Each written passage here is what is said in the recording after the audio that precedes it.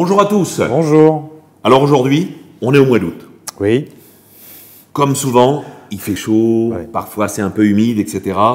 Et même chez vous, bah, les fruits, ça peut s'abîmer. Oui, tout à fait. Voilà. On, on a- on est souvent sur la problématique des fruits trop mûrs, euh, parce qu'on voilà, problème de conservation, euh, d'équilibre avec la chaleur, le chaud, le froid, et ainsi de suite. Donc on se retrouve souvent confronté à un une problématique, c'est l'utilisation de ces fruits mûrs. Alors, première chose, conservation.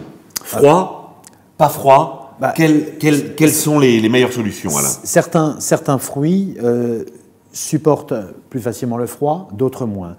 Maintenant, il y a une, une théorie, ça veut dire le- le- les pêches, les produits, euh, les pêches, abricots, euh, nectarines, euh, bananes et ainsi de suite, plutôt dans une température ambiante. Après, si on veut les stabiliser, on les met au froid. D'accord? Donc on stabilise la maturité du produit.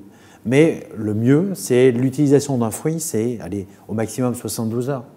D'accord. Donc, quelque part, l'acheter quand on veut le consommer et pas l'acheter Voilà. trop longtemps à Voilà. Essayez de l'acheter un peu ce qu'on appellerait mûr à point, quoi, juste euh, un tout petit peu ferme, une toute petite résistance sur la chair, le laisser à température ambiante, et là, au bout de quelques jours, un ou deux jours, on a vraiment un produit qui a développé déjà sa texture et son arôme. D'accord.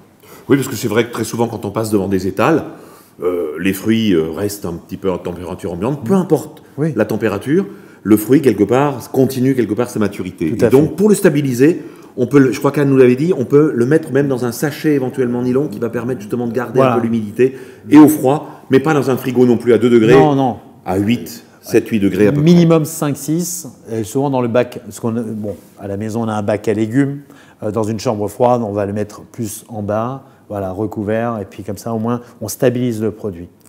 Alors Alain, maintenant je te, voudrais te poser cette question et tu vas nous donner, tu vas donner l'explication à nos amis. Euh, parfois, pour accélérer le mûrissement, on utilise quoi? On a tendance à stocker les produits avec quoi? Alors il y a un, un- un produit tout à fait naturel qui est la pomme, puisque euh, elle développe de l'éthylène, totalement naturel.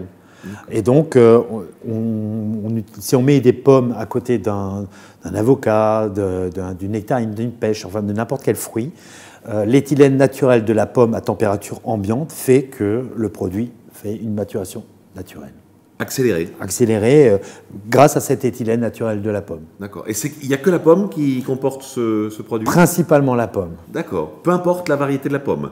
Bah, plus la Granny Smith Ouais. que les autres variétés. D'accord. Hein, donc j'ai un souvenir des- dans les bateaux de croisière, euh, souvent euh, on- quand les bateaux partent, ils stockent énormément d'avocats et ils les conservent et ils les font mettre, euh, mettre à maturation avec de la pomme et c'est de la Granny Smith. D'accord. Ok. Alors maintenant, on va arriver un petit peu dans, dans qu'est-ce qu'on peut faire Parce que voilà. Alors on va pas parler des légumes aujourd'hui, hein, parce qu'aujourd'hui on va parler que des fruits. Et dans les légumes, on pourrait avoir à peu près le même discours. Très souvent, on est confronté à ça. Oui. On a chez soi des fruits, on est dans son restaurant, on a acheté quelques petites choses. C'est vrai que la maturation est arrivée un petit peu trop vite. Il faut pas s'affoler. Non. C'est pas parce qu'un fruit est légèrement abîmé qu'on ne peut pas le réutiliser. Tout à fait. Donc j'aimerais aujourd'hui, Alain, que tu nous donnes quelques pistes sur l'utilisation de ces fruits légèrement abîmés qu'on pourra mettre en valeur dans le cadre de, de- de- de leur- des restaurants de tes clients. Oui, tout à fait. Bah, euh, un, un exemple tout, bête, l'ananas. L'ananas, souvent, quand il est à maturité, il est acheté, et ainsi de suite. Donc, le meilleur moyen pour l'utiliser, et comme il est plein de saveurs, c'est de le rôtir. D'accord. Là, on peut utiliser un ananas rôti, euh, c'est parce qu'il a toute la saveur. On a juste nettoyé correctement, mais on le rôtit, donc on le cuit et il a vraiment beaucoup de saveur. C'est comme la banane. Donc rôti, c'est j'enlève le tout, En je tranches, prépare, en morceaux, euh, au beurre, voilà, un légèrement. petit peu de sucre. Sucre euh, roux, Ouais, un peu de vanille, euh, voilà, et on peut l'utiliser en dessert. Euh, les, les abricots, euh, par exemple, celles-là, c'est pareil, on les découpe, on les fait rôtir avec un peu de fleur de thym, euh, un petit peu de piment d'Espelette, et on le sert avec un magret de canard. D'accord. Par exemple, la figue, c'est pareil, on fait un petit chutney, une petite compotée. La banane, on peut les incorporer euh, dans un cake, euh, dans un gâteau. euh, voilà, puisque quand elles sont tigrées, généralement, c'est là où la banane est le plus sucrée. Parce que Ouais. plus elle est verte, plus elle est acide et, farineuse, et plus elle mûrit, plus le, le produit devient sucré. Et donc, ainsi de suite, quoi. On peut y faire des smoothies, on peut faire euh, des purées, des... Alors des- les smoothies, Dis-nous rapidement ce que c'est qu'un smoothie, parce que tout le monde parle de smoothie, de choses comme ça. Bah, le, le, smoothie, c'est du fruit, un peu de lait, et puis euh, on fait une émulsion dans un mixeur, dans un shaker, et on y rajoute soit un peu de, glace vanille ou, euh, un peu de crème, selon. Voilà, mais en tout cas, le fruit doit être mûr. D'accord.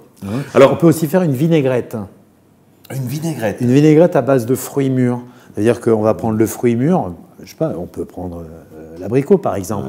Et l'abricot, on le mixe, on y rajoute un tout une toute petite pointe de vinaigre balsamique, mais assez vieux, donc assez rond. Un peu de fleur de romarin ou fleur de thym, huile d'olive, et on peut servir ça avec un petit poisson, euh, tout simplement. quoi. Oui, parce que faut pas être, donc, faut pas être affolé. C'est pas parce que parfois les fruits, quand ils sont justement très mûrs, voire légèrement abîmés, c'est là où quelque part ils développent le plus d'arômes et qui sont le plus goûtus au niveau de, la dégustation. C'est pour ça, Pierre-Paul, que nous à la SAPAM, euh, on, a, on a décidé euh, de, avec nos producteurs dans, dans, le sud, euh, de leur racheter tous leurs produits qui ne sont pas beaux.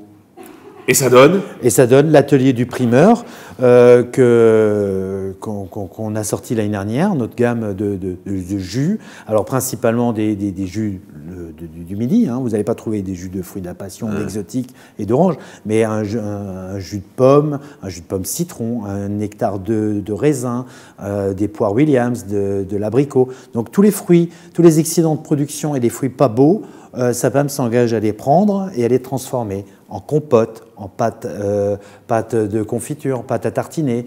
Euh, voilà. Et donc, ce qui va permettre aux producteurs de continuer à se faire plaisir à produire, à sélectionner les beaux produits pour la vente, et de l'autre côté, euh, ben nous, on vous engagez quand même de prendre les. Voilà. Ce qui fait que quelque part, eux ne sont en perdant rien, et en plus, on réutilise leurs leur, fruits fantastiques pour faire ce type de produit. Voilà, et c'est généralement, donc quasiment toute la gamme est en bio. Parce que Anne nous avait fait goûter ça euh, sur Egast et sur le Syrah. C'était absolument fantastique. On a des jus de fruits là qui sont absolument mhm. exceptionnels. Quoi. Oui, par exemple, le nectar d'abricot, il est tout en douceur, tout en rondeur. On, a, on a vraiment que le fruit. Voilà. Il n'y a pas donc, de sucre votre, euh, Ça s'appelle donc l'atelier du primeur. L'atelier du primeur. Que vous avez donc euh, que vous avez développé. Donc, nous, on arrive à le faire à notre échelle peu plus, plus important. Donc en cuisine, euh, chez un restaurateur, avec euh, voilà, si on arrive à faire la rotation du produit, on n'a pas beaucoup de fruits, mais on a toujours l'utilisation. D'accord. Alors moi j'aimerais, euh, ce coup-ci, on ne va pas poser de petites questions à nos, à nos auditeurs. Est-ce qu'on pourrait lancer un petit défi à tes chefs? Oui, pourquoi pas. Et on va demander à chaque chef de chaque restaurant de l'ensemble des quatre sites, on le rappelle qu'il y a quand même quatre sites SAPAM, mhm. de nous envoyer par Facebook ou par un petit mail mhm. une idée de recette avec, les fruits avec un petit fruit euh, avec un petit fruit abîmé. Oui, ou alors en légumes. Hein. Ah bah ça. serait ça serait intéressant, oui. De, en plus, je veux dire par le biais du site, de le faire partager à tous nos, tous nos clients. Quoi. On leur demande alors. Alors essayez de nous faire une recette avec des fruits abîmés euh, en association avec quelque chose d'original. Et la recette, on essaiera de monter un petit PDF avec l'ensemble des recettes qui nous auront été envoyées et on les rajoutera sur l'émission du mois d'août. Et il y aura un gagnant parce que là, les, allez, on va dire les trois plus belles recettes, on, fera apparaître le nom du restaurateur qui aura trouvé euh, cette bonne idée. Très bonne idée ça.